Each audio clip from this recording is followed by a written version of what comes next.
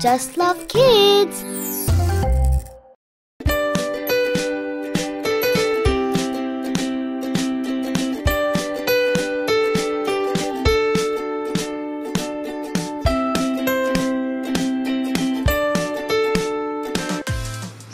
this is what I picked for Elisia's Monday outfit.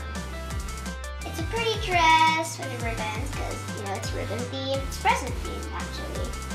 And it looks very pretty. So since she's attending a dance rehearsal for her grandma's birthday party, I picked a pink dress with a matching headband. And now all good stuff for my Monday social dance rehearsals with my Monday OOTD.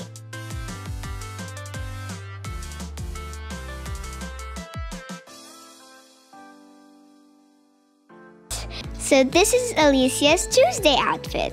She's going to a Christmas party, which is totally perfect for the glitter theme. And so I made her a disco ball. She really looks very glittery and shiny. She'll be the star of the party in that dress. And tonight I'm going to be celebrating a Christmas party with my teachers and my classmates in taekwondo class.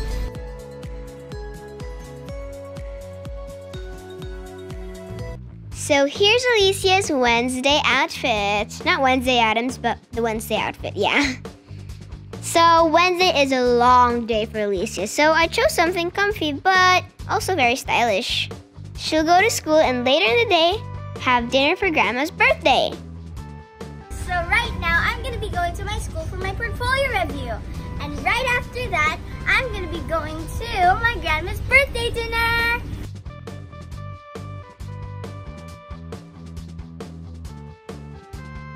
Thursday's theme is red and green. So I got this fabulous pair for Elisia's Thursday look. A red sequined sweater and an army green pants since she's very bold and strong. And of course, a black fanny pack for accents. And again, something casual but definitely, definitely, definitely very stylish. Today I just finished my piano lesson and I know the chords to one of my favorite songs, Rise Up. As you can see guys, I'm wearing the red and green theme for Thursday.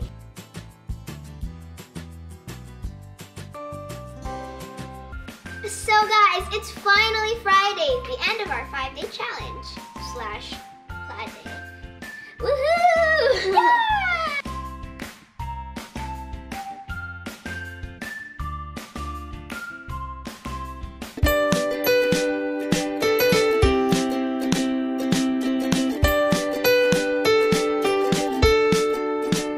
Thank you guys for watching! Don't forget to like and subscribe. And hit the notification bell down, Down below.